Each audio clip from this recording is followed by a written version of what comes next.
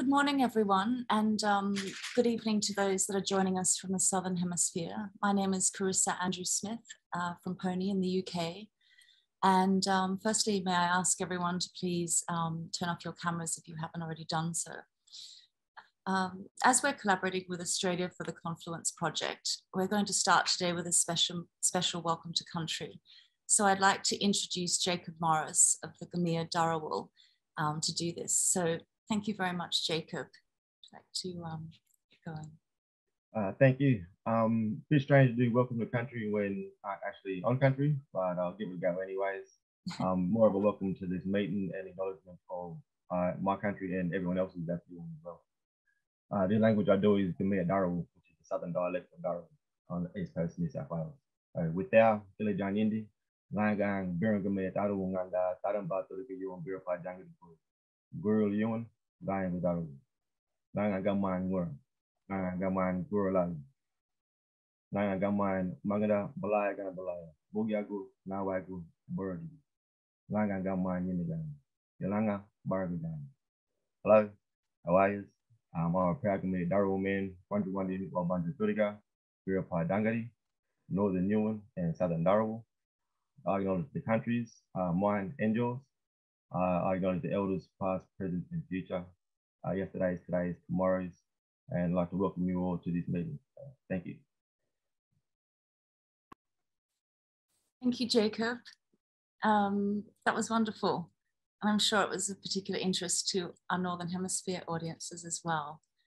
Um, so we're here today as part of Confluence, which is a multifaceted 18 month project, which is exploring the meaning and implications of climate change across multiple viewpoints to hopefully activate a shared imagination for the future.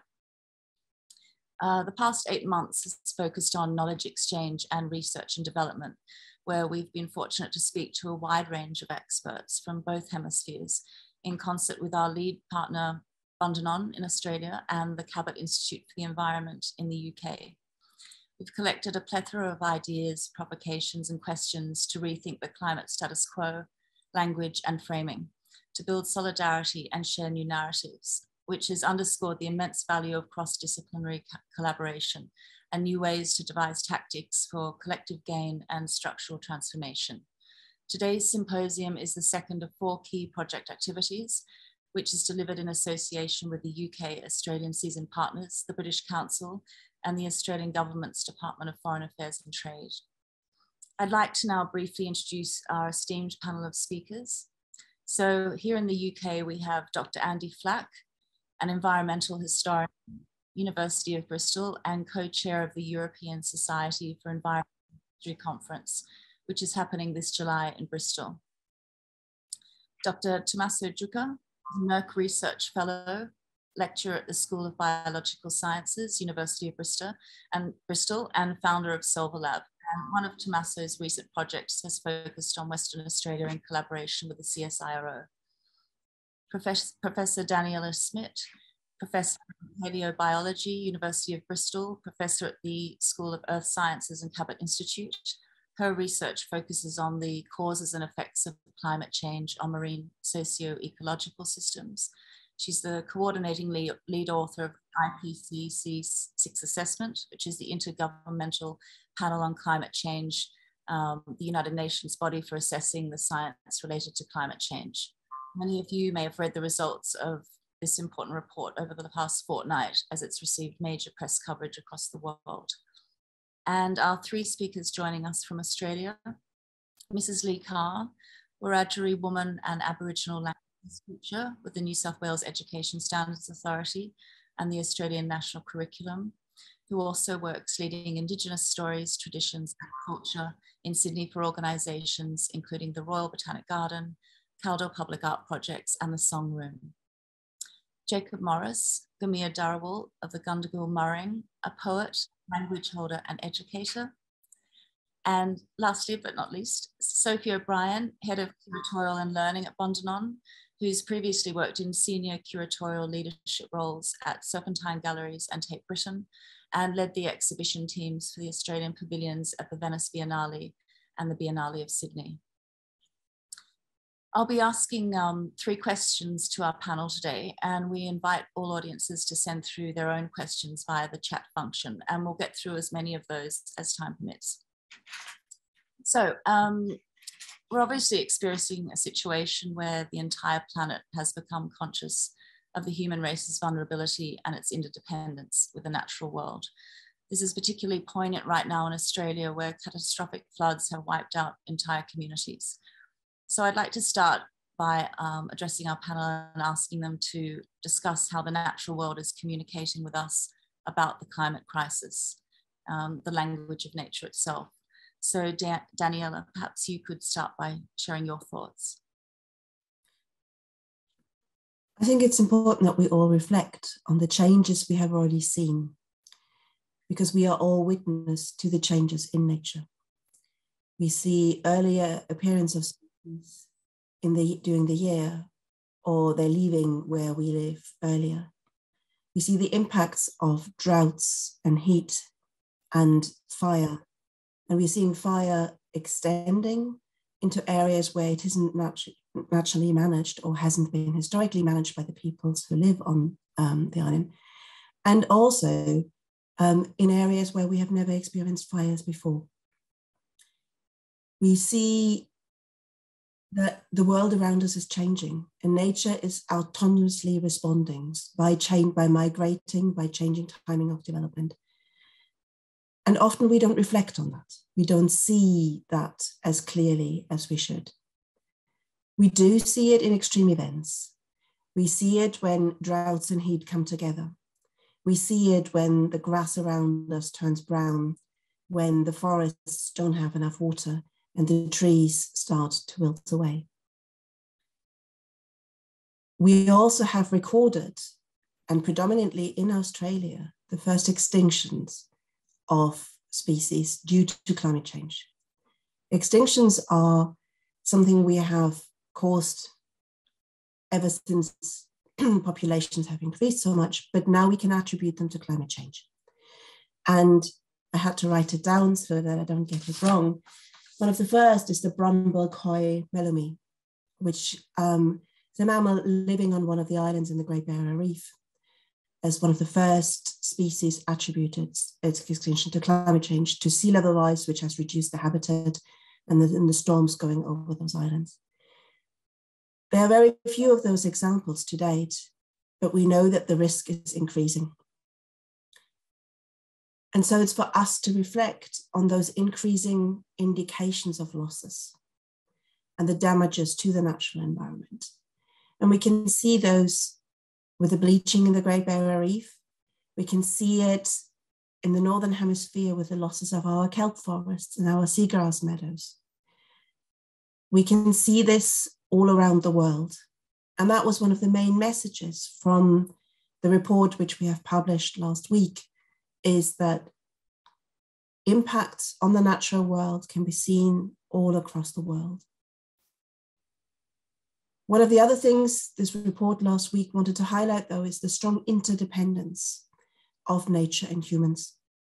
The need we have to consider how we can support nature to support us, supporting nature to you know, clean air, clean water, coastal protection, livelihoods, mental health benefits we gain from being out in nature. And that we can just do this if we also give nature space to breathe and give it space, water, land to exist. And the importance this has for us in making decisions. That protecting and the stewardship, and the stewardship often you know, connected with the people who live in those smaller regions. So we need to draw in on both the indigenous people's knowledge all across the world, as well as the local knowledge of those communities who live there and who can therefore tell us a story of those changes, but also take stewardship of the protection. The projections we have on future climate change are really quite overwhelming in terms of the numbers of species and the percentage of species we are projected to lose. So we have no choice other than finding solutions for this ongoing combined biodiversity and climate crisis. Thank you. Thank you, Daniela. Um, Tommaso? Yeah, um, it's going to be quite hard for me to add much to what Daniela has just said or, or put it more eloquently, to, to be perfectly frank.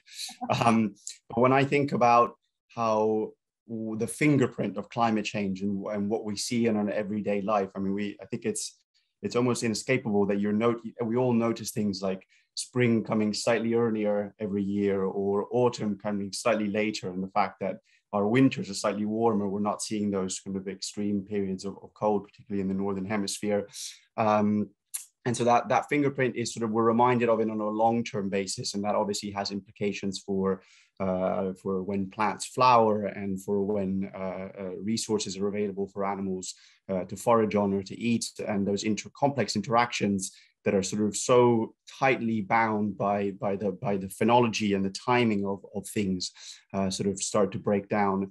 Uh, so when when insects decide to come out and when the timing of that uh, how that's timed to uh, when flower resources are available or when fruits are, are, are available and all those kind of things. So those long-term trends is something that i think we we've all sort of sort of started to notice and and we can see. But i think one thing that strikes me, and it maybe it's because I it's because of my focus, uh, my my research in in forests, uh, is is the is the sort of the change in this and the frequency and intensity of these extreme events, um, and so they might not happen every year, and we might not notice them uh, uh as as much, although they, they tend to be in the news more more frequently than not. Uh, recently, obviously, Australia at the moment is going through uh, one such event with these floods, but just a few years ago, you were going through the exact opposite with raging fires, and I, I remember leaving Australia just as that that was going on, and just being struck by the by the scale of it.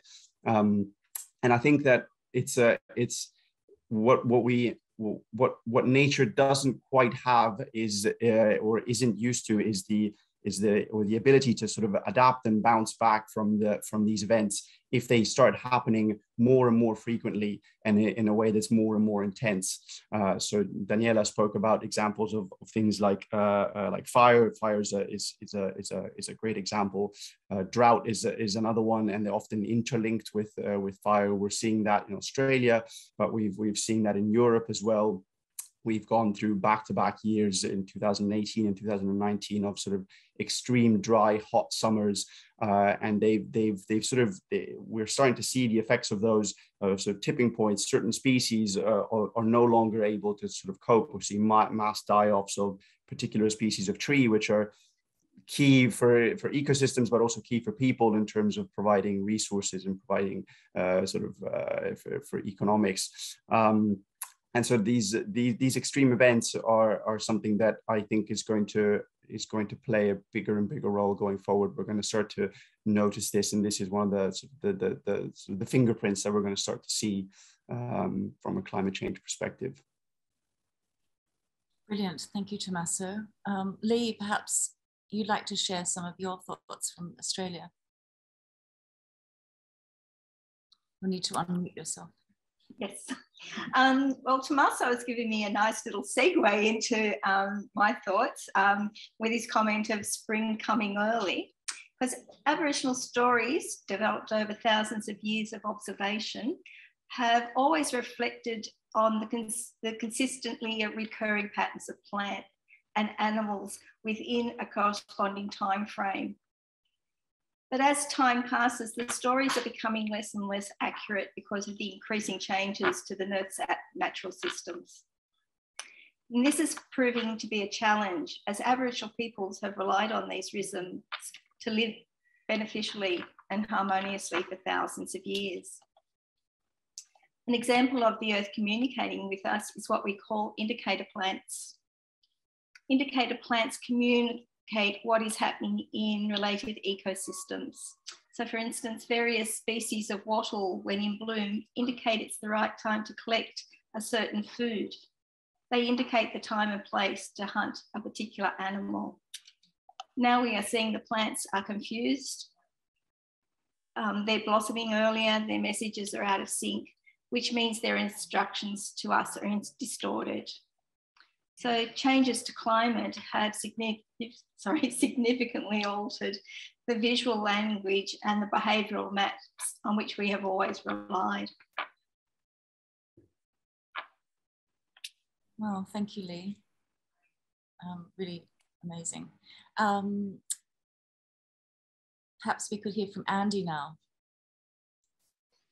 Sure. So, I, I mean, I I can't say too much. And I don't think that's already uh, been not already been said. Um, so maybe I'm going to talk a bit about my my own research and how I think, um, looking historically at kind of human animal relations and relations with the environment, can can help us to um, to communicate uh, with the natural world or to, to, to hear their communications around the climate crisis. So it's become clear that over the past couple of decades, nocturnal nature or nature by night has, has started to send signals uh, that all is all is not well in the nighttime world. Recent research has shown that um, that creatures that usually live during the day are increasingly adapting their behaviors to increasingly habit, inhabit the nighttime hours. The nighttime is cooler generally, and there is less human activity. So the, the shape of, of the way in which the natural world, according to the rhythms of light and dark, has started to change. But there's also research emerging at the same time showing that the night seems to be warming more quickly than the day. So, looking historically, we're reading this changing language of nocturnal nature and seeing these fundamental reconfigurations, and the two of them together, the warming of the night and the movement into the night, present really potentially quite disturbing, but still largely fairly unacknowledged uh, communications or signals from a natural world that is changing really quickly. We can also read the language of nature or listen for the language of nature by listening for absence or listening for silence. So, one of my favorite uh, books um, at the moment is Michael McCarthy's The Moth Snowstorm. And it's a nostalgia piece in which the author recalls the, the clouds of insects that would splatter his car windscreen uh, during um, his drives down country lanes in the 1970s. But he argues that over the past couple of decades, there have been what he calls a great thinning, a precipitous decline in the quantities of, no of nocturnal insects um, in those sorts of places. A reduction of the volume, a, a, kind of turning down of the volume of the, of the language of nature, I suppose, in, in, in this great thinning.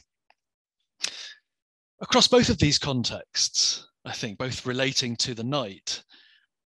I think we need to do much more to learn the languages of nocturnal nature. A 2019 paper by life scientist Kevin Gaston noted that we still have a major nocturnal problem in the life sciences. More than 60% of all species are either nocturnal or crepuscular, and yet we still have not developed effective ways of really studying and understanding the way in which that world is working and given, I think that that we're starting to understand the way in which that world is potentially changing quite radically, um, I think we need to do much more to learn that language of nature, the language of nature by night. Brilliant. Thank you, Andy. And Jacob, I'd love to hear your thoughts to finish off this question. Yeah, well, I haven't done um, much research or read any books on climate change, but um, what I uh, can talk about is the, uh, the language of uh, nature. So for me, the language of nature, if you need to understand that, then you need to first speak to translators, and the translators are Indigenous and First Nations people.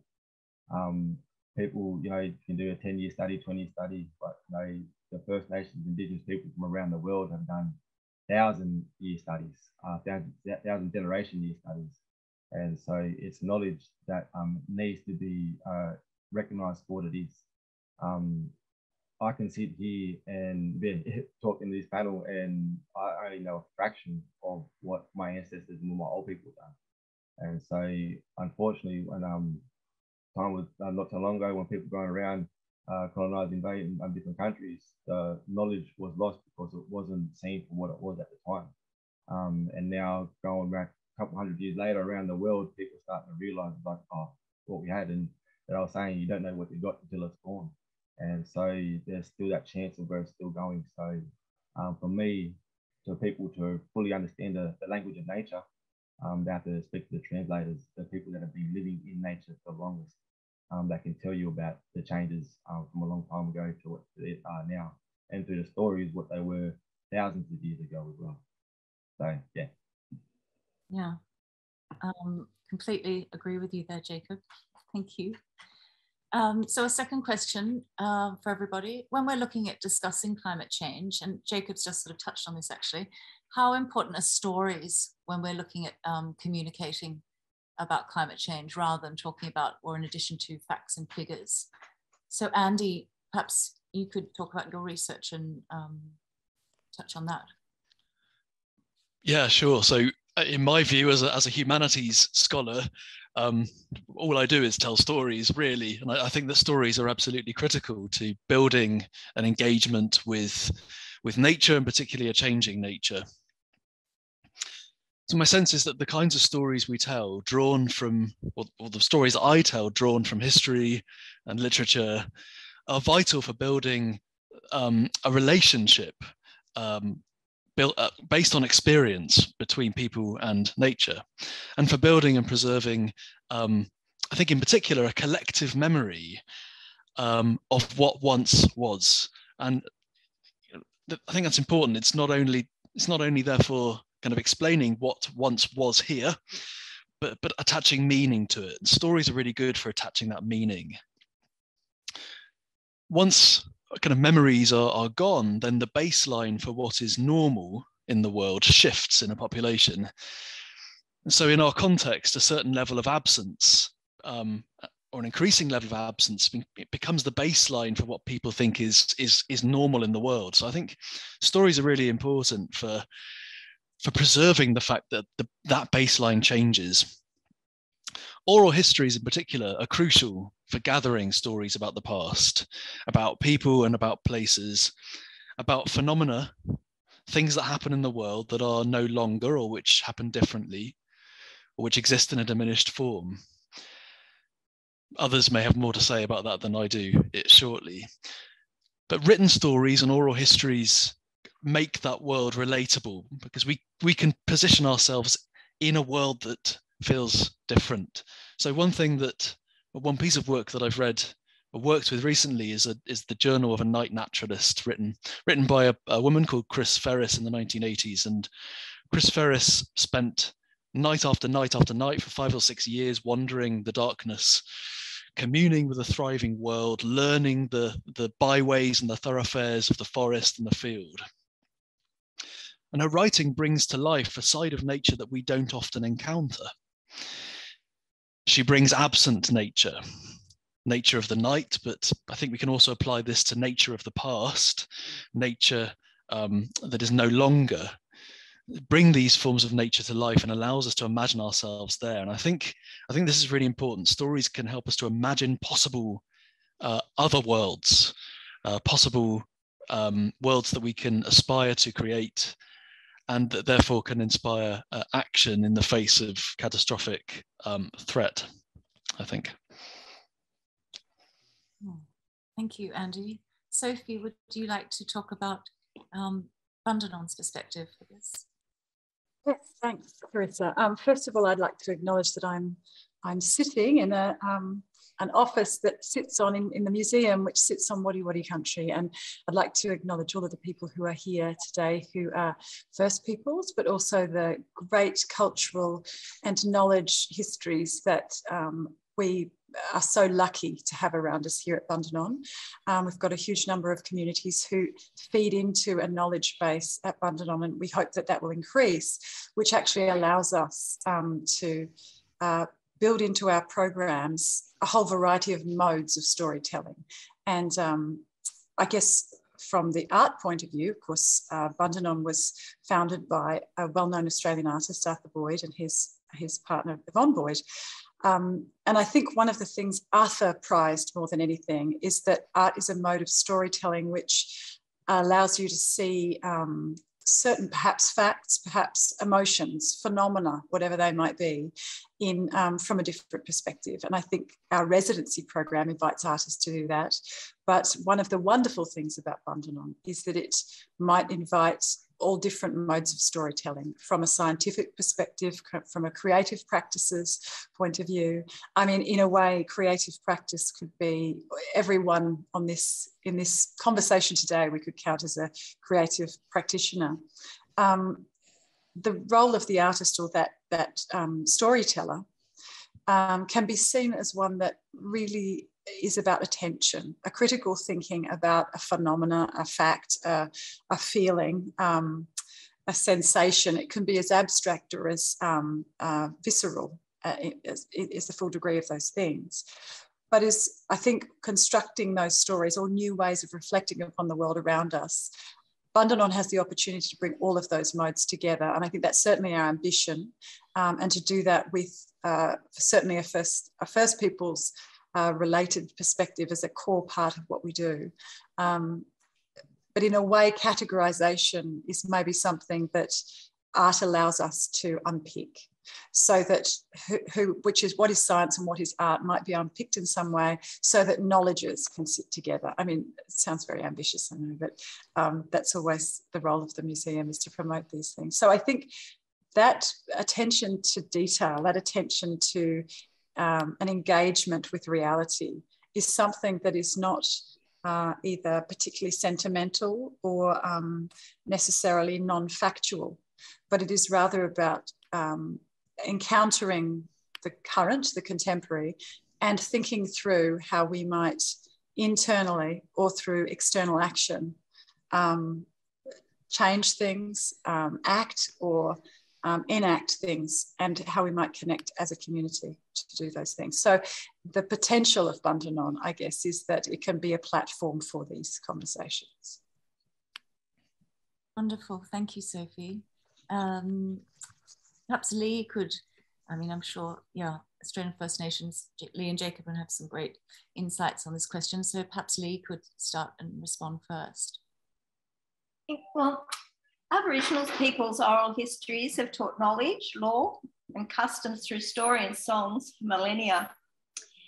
Each geographic area, and there are quite a number in Australia, um, hold its own stories or songlines uh, due to the different connections that peoples have with various animals and seasons. Songlines are shared between peoples, told or sung, and this valuable knowledge has been passed down through many, many generations. Educating and entertaining young children, the information that is learnt through repeated hearings of the stories becomes vital knowledge for survival as individuals mature. Because songlines describe how to traverse dreaming trails, how to um, traverse trade routes, or locate a waterhole, or other vital resource. Uh, for instance, a story um, inspired by the pelican describes how stones have traditionally been used to catch fish. One set, known as the Brewarrina fish traps, is a com complex network of river stones and stone walls arranged to form channels which guide fish to and hold them in ponds as they travel up or downstream. This was an important site of food production, work, trade, and consumption. And the creation of these fish traps um, really sort of um, governed um, Aboriginal law, helped shape the spiritual, political, social, ceremonial, and even trade relationships between Aboriginal groups across the greater landscape. As part of the Murray Darling River system, these traps have always been adaptable to seasons and changing water levels of the river. However, current water licenses have disturbed the natural river patterns. By allowing mining corporations and other large, often international even, commercial entities rights to divert water from the rivers to support their activities, the water levels in the Barwon River have been severely depleted exacerbating severe drought conditions downriver um, over, over a number of years prior to these current flooding. In 2019, an estimated 10,000 fish died following heavy rainfall. Local Aboriginals believe topsoil contaminated with 30 years of pesticides from local cotton crops was eroded and carried by the floodwaters into the river, resulting in the death of the fish, water spiders and other aquatic fauna and flora. Floods similar to what we're seeing right now across New South Wales can cause rivers to be redirected. As waters find a new way to proceed past the blockages caused by silt buildup, the river is suddenly set on a new, unnatural course. We believe the increasing impacts of climate change and extreme weather events is nature's way of trying to protect herself, in a way, sharing her own story, telling us to restore the balance to the environment. Thank you, Lee. That was lovely. Um, Daniela, perhaps we could get back over to the UK and hear your thoughts about sharing stories in regards to communicating information about climate change? For me, it's really important that we don't forget that there's a lot of emphasis trying to remove this dichotomy between scientific information and oral histories. There's been a huge emphasis in the climate report, which came out last week, to respect the ownership of Indigenous oral histories, but still draw on them, which, for, of course, for many of us is is really difficult um, path to tread. And so, for example, the Europe chapter, which I led, has um, describes the impact climate change had on the Sami, um, a group of indigenous uh, people in, in Northern Europe who herd reindeer and therefore are dependent on the land, on the vegetation, on the snow. But in the same time, respecting that the oral history behind it is theirs. And that's a really difficult thing for us to learn. What I consider important, though, is to widen this to local narratives everywhere. How often do we sit down with our elders and have a chat about, you know, climate? And the, you know, the Brits in here who are old enough. I live in the southwest. Um, everyone still talks about this huge, huge snow in the 1960s, where everyone was snowed in for several months. And you know, in the UK and especially in the Southwest, that's that's unheard of. But it's important to hear those stories, and it's important to hear those stories of change. At the same time, it's also important to, to empower the young generation to have their own voices. And one of the projects we are doing is to use animation um, and give young people, therefore, a way to reduce the anxieties many of them feel um, about climate change and the impact it has and biodiversity loss and the impact it has and allow them to be more proactive. And so we've we've gone out to a community in the southwest children who meet their friend at the beaches and therefore are really um, impacted by seeing sewage seeing pollution um, hearing about climate change. And by teaching them how to make an animation little stop motions we have we've given them the option to make a film and get that film seen at one of the green events at the conference of parties in Glasgow last autumn. They felt incredibly empowered. And again, you know, we have other opportunities where this film can be seen. It allows them to become agents. And it allows them to not just feel the fear, but positively do something and and have their voice heard.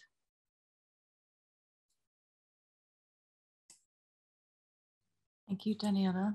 Jacob, love to hear your thoughts on on stories. Um, yeah, well, everyone, uh, it sounds like we're all talking about the same thing. Everyone touched on what I would like to talk about as well. And um, with stories, you know, um, Andy mentioned that it's, it's personal. That's what the great thing about stories are. And um, even Daniela mentioned then, like hearing stories from her grandparents. So like those are still stories and they're personal lives as well. And even like we go back to our Dreamtime stories, um, when we tell them to the kids, that's the imagination. They put themselves in those places. And so stories is an awesome way of communicating from things from the past, that knowledge.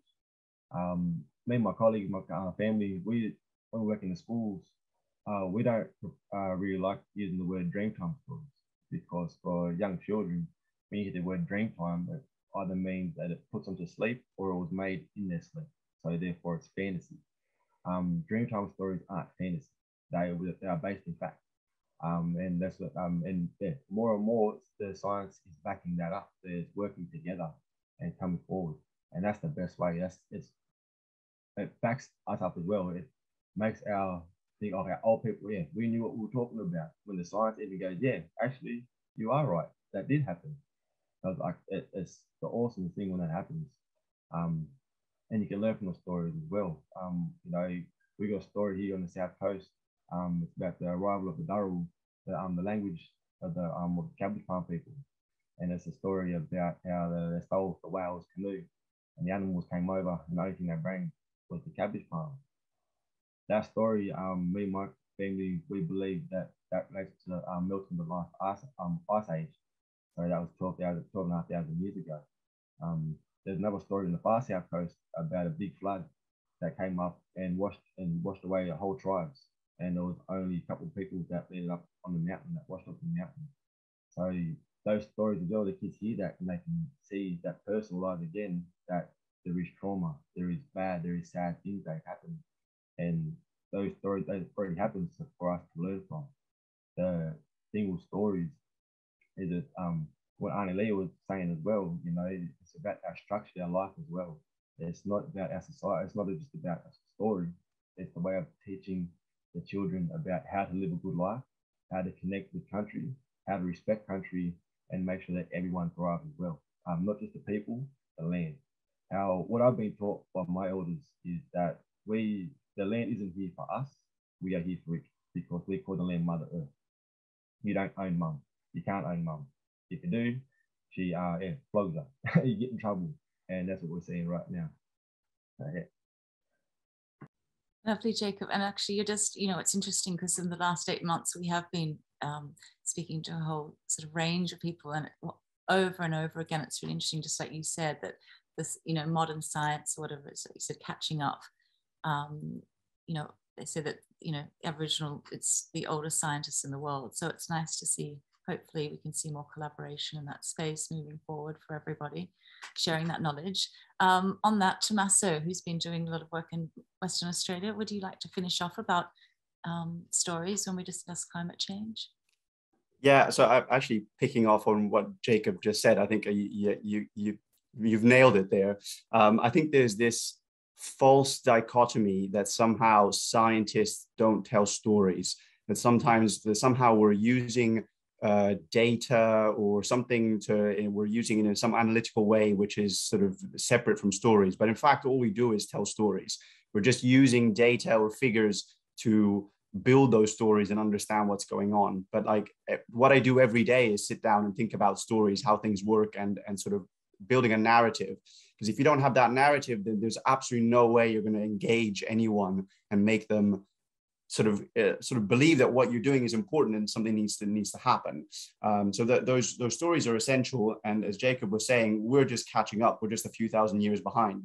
Um, so hopefully, in a couple thousand years, you come back to speak to us, and we'll we'll we'll be back on par. Um, one thing that I wanted to pick up on this when I was getting the prompt for this question, I was thinking, what could I contribute here uh, in terms of like how scientists interact with the with the general public and sometimes through media. I think that one thing that I think we could do a lot better at as scientists is communicating some of the nuance of some of these stories around climate change. Um, and so I thought I'd, and, and I think it goes back to the, the, this idea that we're always trying to reduce stories uh, from a scientific perspective uh, to the lowest common denominator. We're trying to make it as simple as possible because there's somehow this idea that if we communicate a concept that's not quite linear, people won't get it. And I, I strongly reject that. I don't think that's true at all. I think people, if explained properly, can understand the complexities of some of these problems. So I wanted to pick on one example in particular, which is one that we see in the media quite a lot uh, in uh, lately in this idea of so we have climate change we know it's happening what are we going to do about it? Uh, and one of the solutions that gets thrown out a lot from a sort of a, an environmental side of things is well why don't we plant a whole bunch of trees um, and the idea is well we plant trees trees grow they uh, accumulate carbon, and that carbon is stored up in that tree for its whole life, uh, and we're removing that carbon from the atmosphere. Um, and we have seen a few very high-profile sort of scientific publications come out in the last few years that have sort of advocated for this. And when it trickles down to sort of like the media, you'll open the Guardian or the BBC, and you'll read that article, and it's something like you'll read something along the lines of, "Oh, the mind-blowing potential of planting trees to save save the world." And in that process, we've lost all of the nuance of that of, of the difficulty of doing that. Of firstly, we've lost the nuance of where should we be planting trees? There's plenty of places in the world where we should absolutely not be, be planting trees. Uh, there's large places, there's a swaths of Australia where we probably should not be planting trees. Those are naturally grassland ecosystems where trees are, are, are, not, the, are not the solution or not what we should be doing. We see that in uh, sort of high latitudes in the in sort of northern hemisphere, like places like peat bogs, where people have planted trees on them to drain them, and what happens to all the carbon that's stored in the soil there. So we're losing that nuance. We're also losing the, losing the nuance around like what tree species should we be planting, uh, and I think that we can communicate that to the people can understand that if you walk around a landscape, you'll notice that some trees are in some places and some other species are found in another place. And there's a reason for that. Uh, and we can't just blanket plant one species across an entire landscape. We need to be much more nuanced about how we do that. And so I think that there's we need to we need to be able to communicate some more science in that nuanced perspective so that we don't actually end up doing more harm than good in implementing some of these big scale changes that we're thinking about to sort of help with climate change. Thanks, Tommaso. I mean, that's really interesting. And that touches on the next question, which is, you know, how can we contribute to a more sustainable future? I mean, what you're saying is that we're often, especially when you're talking about someone like a member of the public through the media, as you said, there's so much messaging going on and it's hard to almost um, prioritize or understand what is actually maybe greenwashing, what is actually practical advice. So um, perhaps, I don't know, Sophie, from an arts point of view, perhaps you could touch on that about you know, how Bundanon is looking or prioritizing or um, communicating or exhibiting about um, contributing to a more sustainable future. Yes, I mean, Bundanon's uh, unique in, in many ways. One of the um, things is the bringing together of a big learning program. And of course, Carissa, you've been working with the learning team in this project itself in Confluence. Um, but that, that, that, has an ambition of being not only for um, necessarily um, preschool aged children, school and tertiary aged people, but also all ages learning, tying together histories of art, but also histories of the environment. Uh, we have a carbon farm, we've got a functioning farm, to some degree. Um, and uh, we've got homesteads that are colonial homesteads, as well, of course, of a thousand, a thousand hectares of um, beautiful bushland, which has, has its own um, uh, in a way topography and different plants in different places, which Jacob would be able to speak about much more in detail than I would. So I won't touch on that. But I guess we as a team in this office can offer the um, structure of um, a program that can be uh, focused to learning, focused to artist in residencies, focused to exhibitions or performance programs or public presentations that might bring those things together. Um, all of this really speaks to an attention to detail, as Tommaso was talking about.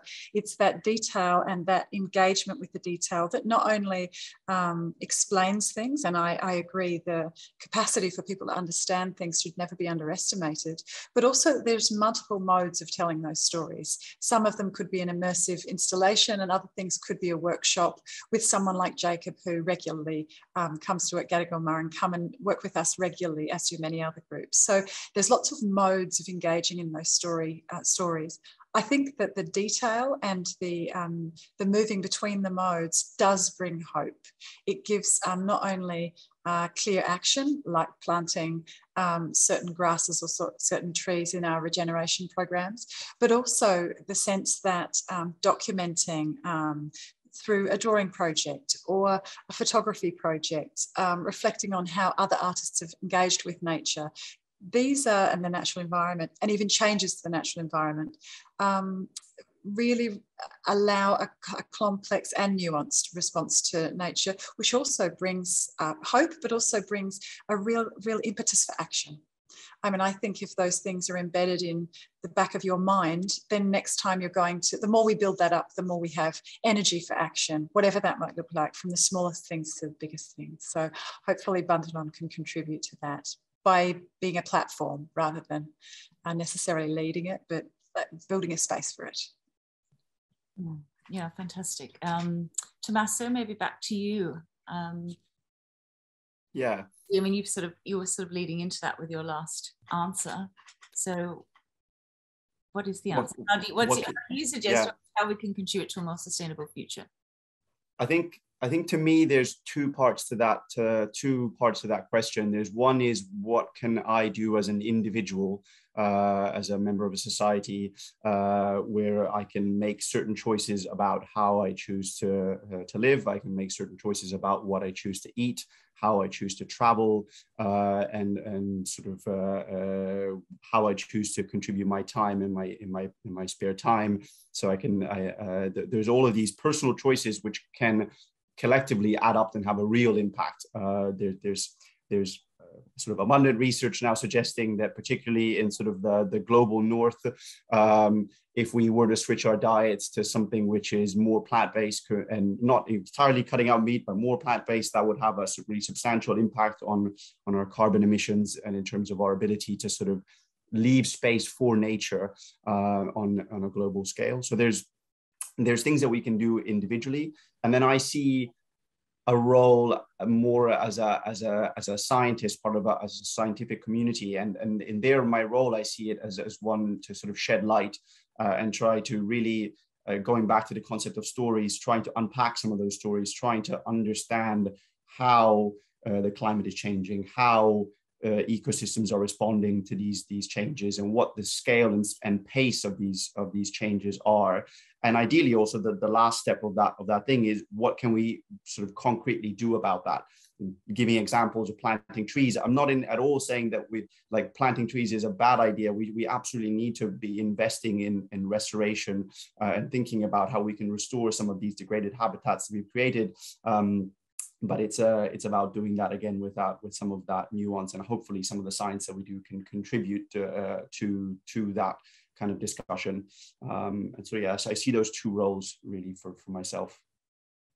Okay great. And lee perhaps you could make a comment on suggestions for a more sustainable future. You have to unmute yourself. Oh is she there? Yep um, I was saying the natural world has repeatedly sent us signs that it's in trouble due to the negative impact humans are having on the planet.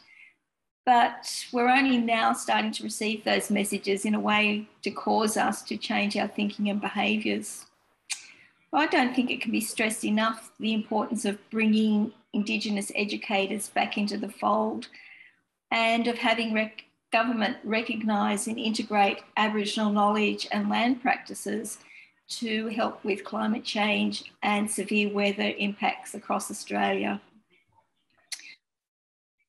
I think Australian growers could maybe begin to use bush tucker plants, which are far more suited to the Australian conditions, um, and by returning to Aboriginal sustainable land management practices um, removing flowering plants from commercial greenhouses would um, allow insects to have um, more freer access to plants um, and increase pollination of, of our food plants.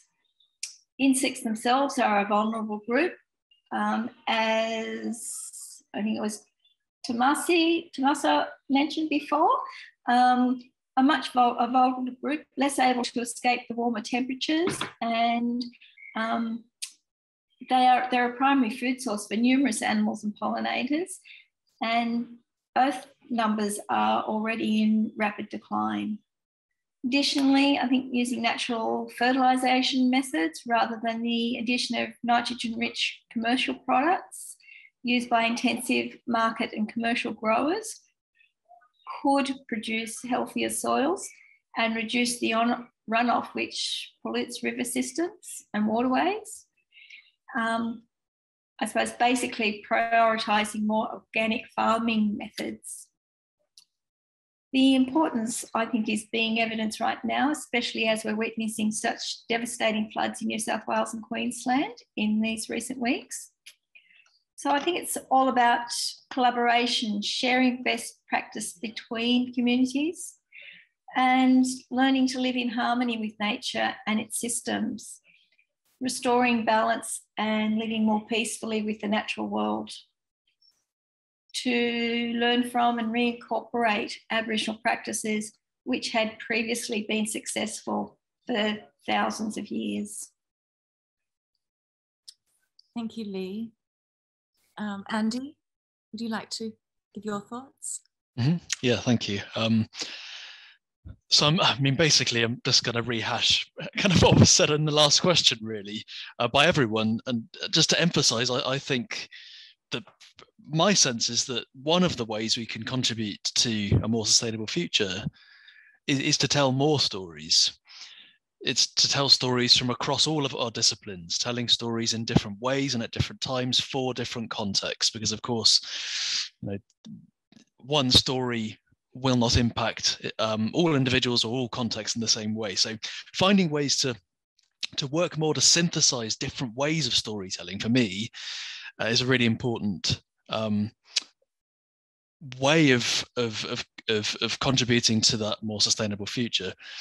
I think that onus comes down to us as individuals too, that, that we ought to tell stories. We should tell stories to people um, who live in different places about the nature that we know. We should tell stories um, about the nature that we once knew to, to younger generations. So keeping those oral traditions um, alive, particularly in cultures where oral traditions are less firmly entrenched, um, I think is a, is really important to to maintain that emotional connection um, to uh, to to our connection to the to the wider world. So that's one strategy. Um, I also I also think that in in the telling of these stories, young people, as Daniela I think mentioned earlier, ought to be at the front and center of that work. So in a 2021 study from last year around eco anxiety, Three quarters of respondents aged 16 to 25 felt that the future was frightening. Meanwhile, 64% of young people said that governments were not doing enough to avoid a climate crisis. So, as well as actively addressing this and developing strategies to transform fear into action, we need to, I think, work with young people so that they are the ones collecting and preserving and being empowered through the collection and pres- preservation of those stories about the world, they, I think, can can be the ones, and we can find a way to encourage them to to communicate stories in new and exciting and cross-disciplinary ways. And it seems to me that that's particularly important because I, th- I think only by by receiving stories and retelling stories can can we um, as individuals find new ways to imagine how the world could be and how we could adapt ourselves and the world to the challenges that undoubtedly lie ahead. Thanks, Andy. I'm sure um, Jacob Jacob will be able to um, concur with what you've just said. I'm interested in hearing his thoughts because I'm sure, as he said before, he's been hearing stories since he was a little boy. And I guess I was thinking that you know children are influenced by everything around them and the environment itself sort of acts as a third teacher as well. So jacob if you'd like to contribute your thoughts on that question. Yeah i, I completely agree with andy that um all of us telling our stories our way is the way to move forward but also that coming together as we, we talked about today as well. Um like say like always we'll talk about science except in culture you know glad, hope you're uh, glad to hear that. You know, when we do my talks, I talk about the perpetual motion of the boomerang. Um, you know, the, the um, well, with the trees breathe, you know, the, the oxygen and carbon dioxide. So we adapt in that science and put it into our talks and our education and our stories as well, because it gives us, it makes it more credible, like we were saying before. Um, I could talk about the fires, traditional fire management, so talk about uh, looking after country. Uh, but for me personally, um, again, I agree with Andy that the kids are the way forward. Um, you know, in our culture, we call the land mother, uh, mother, mother nature. Um, it's called mother because it provides, you know, it also protects. It gives us everything we need. It gives us life. But you have to love mother, and teaching that to the children is one of the biggest things because our love comes protection, comes respect, comes understanding. So all those things will come from where these children learn to love nature. And when we teach kids how to love and connect with nature, it doesn't mean going out and giving the tree a hug. It's, it's not like that. It's not about you know, respecting it, understanding of what it does to you, and what you can do for it in return. So, you know, we take the kids out and we sit them, we do the smoking ceremony. We'll take them out and sit under a tree. And then we'll talk about what fire does, the different types of smokes, what it does to you. Um, the black smoke, now black smoke is not good for your lungs. It's bad smoke. And what the white healthy smoke does from burning certain leaves. We talk about that. We tell them to take a deep, big um, breath in and then breathe out and then explain to them that that tree that they're sitting under just gave them that breath. And the breath that they breathed out just gave that tree that breath. So they are in harmony, they are connection, they are keeping each other alive and they see that the kids and they see just a little spark of, oh, really? That's mine. And so little things like that is how we move forward. Um, know, once you see the land as mother, as a family member, not just as there something for you to take advantage of, as, as resources for you to use, it's there something to keep you alive, and you need to keep it alive as well. And that harmony and keeping that connection and balance is a huge thing. And the only way forward is teaching the children that, and that's all children from around the world have to get out and connect with mother. They have to go out and learn about the bush. They, they go out, they have to get dirty. They have to go out playing on mud. They have to go out, climb a tree and fall down.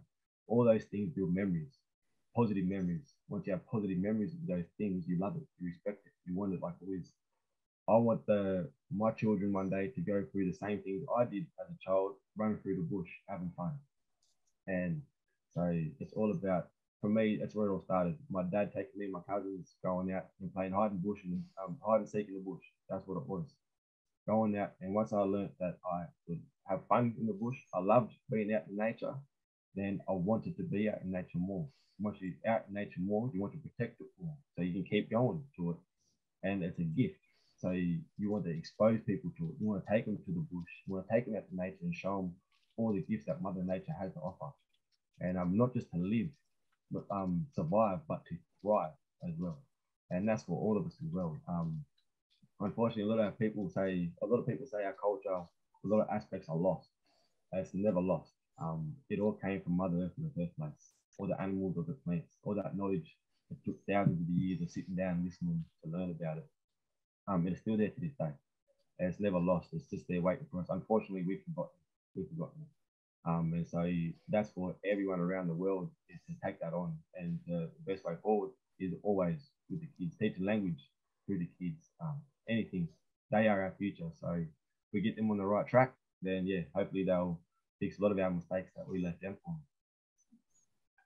Yeah, thanks, Jacob. Um, really um, appreciate that. And that's all about, sort of, like you said, emotional connection, taking the time to understand we are one with nature. Um, Daniela, would you like to end off on this question? Um, be interesting to hear your thoughts following what Jacob's just said. I fully agree with Jacob. You don't protect what you don't love. So that's important. But I'd like to challenge us further. Is sustainability, a sustainable future the right term? Because sustaining, if you look at, I'm not a native speaker, but you know, in word in stories, words are important. And sustaining talks about you know, being able to maintain at the current rate. Do we really want to do that? Sustaining also says to defend, and there will be places we have to give up. We will have to give up because the ocean will take land back. We have to give up because nature needs more space to be preserved, to have pollution reduced so that it can provide us with the services. Is sustaining really what we need to do? Maybe we don't know the right word yet. You know, we, we in the report reflect, we've reflected a lot on, on climate resilient development, but do we want to be resilient or do we just sometimes just want to give up? And that's okay as well. Mm. And so I think it's important to think about how can we adapt? How can we reduce the risks from climate change and from biodiversity loss by enhancing biodiversity, by mitigating against emissions? And how can we make the world a more, you know, again, sustainable development goals? You know, that we, we're using this term all the time, and I'm not completely sure that we really reflect on what we mean. I think it's important that we understand that for whatever future we want to form, partnerships are really important. Doing it with the people who live at a given place, considering their knowledge, and that's local and practical and indigenous and scientific, and all of that has values. It involves groups which are marginalized at the moment in these discussions and prioritize equity and justice. Because if, if the world we are creating isn't just, the whole exercise is pointless. And so I think it's really important that we consider holistically, you know, from poverty to biodiversity loss to climate change and bring all of these things together and empower people to create a world. Let it be sustainable, resilient, or whatever term you choose. Okay. Thank you for that, um, Daniela. We've just got a couple of questions that have come through. So um, I don't know who'd like to comment on this. Maybe you would, um, Daniela, I'm not sure, but um, from Anna Glynn, just wondering if planning seems to be based on election cycles, that we should encourage governments to plan for 500 years and not just three years. Make the story, make the story for an ongoing story.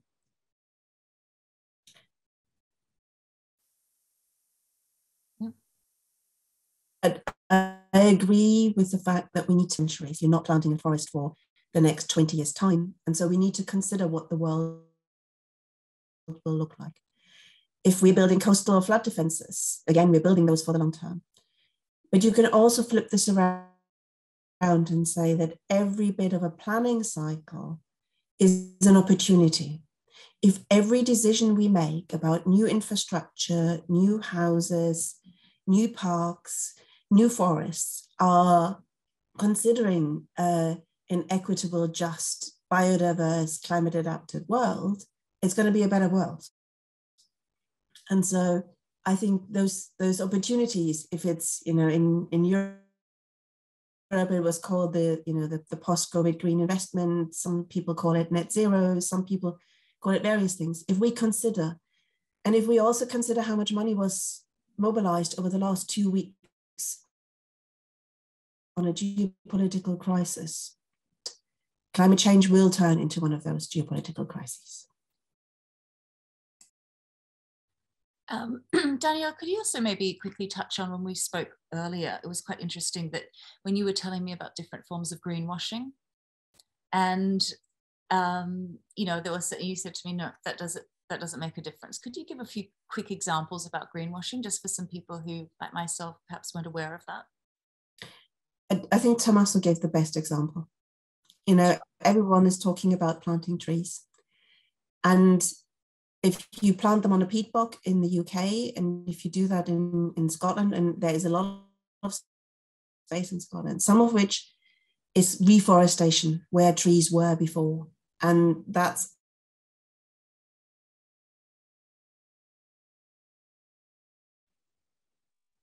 absolutely the right thing to do. Some of this in Australia, nor on a Scottish peat bog, is planting trees a sensible thing. We also need to think about the fact that how many people say, oh, I'll offset my flight by planting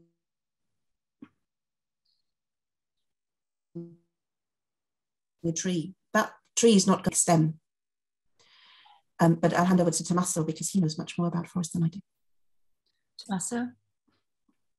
Yeah, so I think I think that one of the one of the big sort of criticism or pushback that we've seen from the scientific community on this idea of, of planting our way out of a climate crisis, this sort of like simple silver bullet kind of solution, is that there's a real risk that because we're not considering any of that nuance that I was trying to sort of talk about, there's a there's a risk of um, of opportunities for people to use it as an excuse to not make progress and action on the things that we really need to make action on. And I sort of like so sort of it becomes sort of like a smokescreen for what I, am, at least in my opinion, are two of the biggest things that we really need to make action on. One of them is drastically reducing and cutting down on uh, fossil fuel uh, use, uh, so that essentially leaving fossil fuels in the ground. I mean, there's there's wide consensus that that that is the first and foremost thing that we need to do to get to a place where we are cutting down emissions to a position where uh, we are not pushing ourselves beyond that 1.5 to 2 degree Celsius warming, which is again an agreed sort of limit, upper limit to where things start to get really, really bad above above that. Um, and we're close to that limit already. Um, and then there's the other side of it, which is uh, we can't only just rely on cutting down emissions, but we also need to find, find a way to re remove some of that CO2 from the atmosphere. And that's where things like restoration and tree planting can play a, a, an important role. Um, they're not going to solve the, the by itself, but again, there's this worry that if we focus exclusively on tree planting, we forget that equally important, if not more important, is keeping current ecosystems that are intact intact.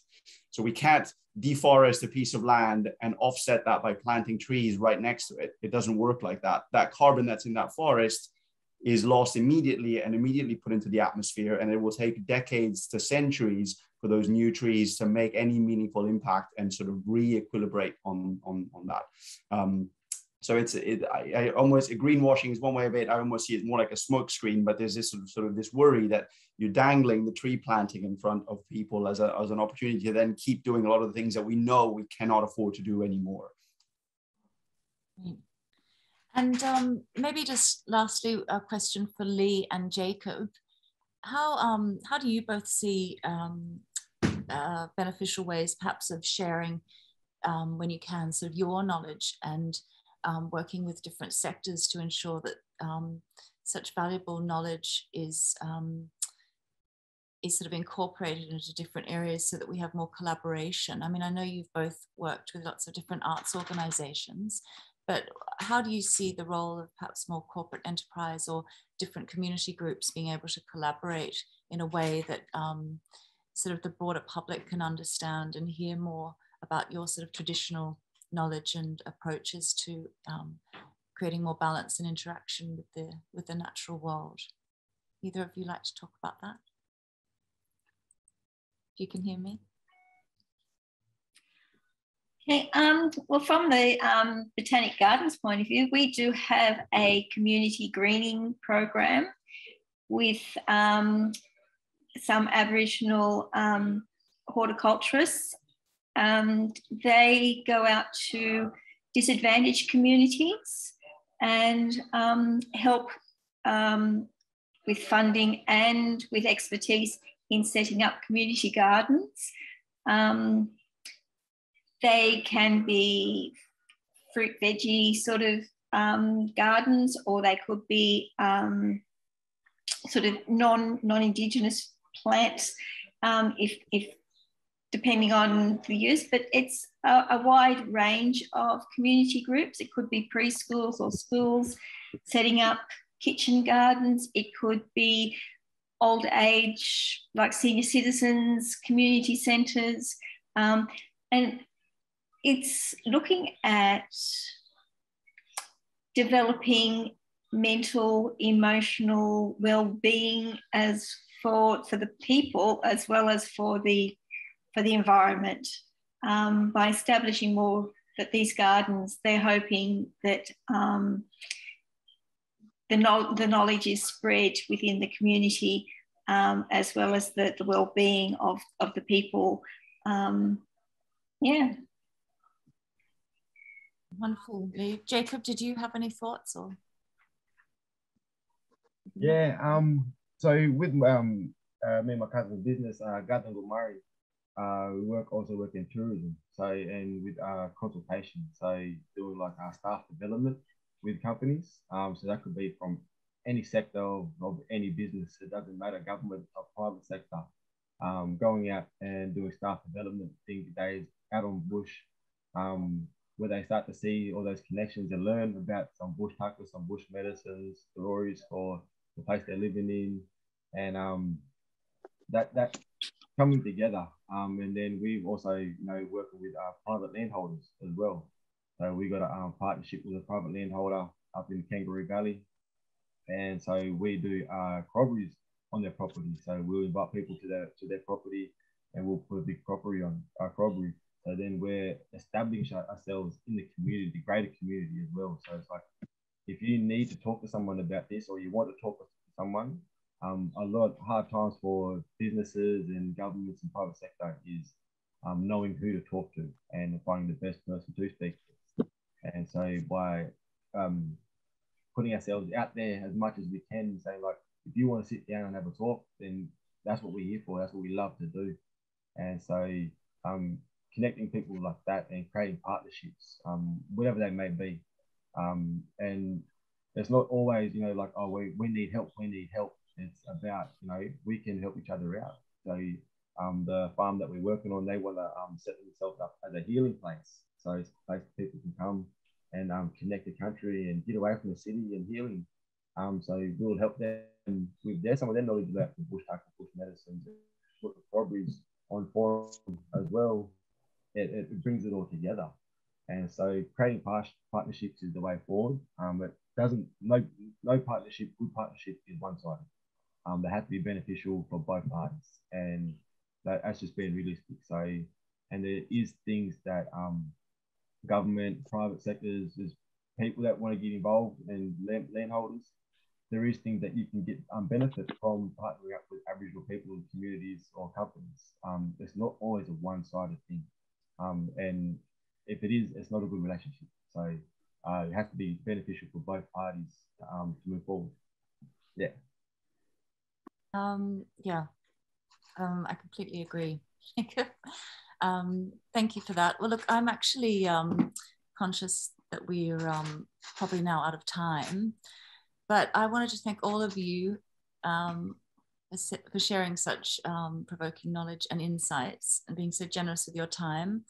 I think we all probably recognize that these ideas are always unfinished because um, they strive to reflect a future that we seek, which is, as Jacob was just saying, necessarily collaborative. So it's certainly my hope that all leaders can be inspired to act as agents of change, and everyone, no matter what sector you may be in, can explore the ways we can all successfully resource our work to, to move towards collective gain and positive transformation. Um, also a reminder that we might send you an e-survey link in the next 24 hours. We'd appreciate you taking a few minutes to complete the questionnaire as it will greatly assist the British Council's evaluation of the UK Australia season. And keep an eye out on social media or the respective websites for the next two iterations of this project, which focus on new frameworks of cultural engagement and climate education. I think all that remains for me to say is to thank the British Council for supporting us today, uh, the wonderful teams at Bundanon and the Cabot Institute for the Environment, our amazing speakers, and to everyone watching, thank you for staying with us and enjoy the rest of your day. And um, stay safe, everybody. Thank you.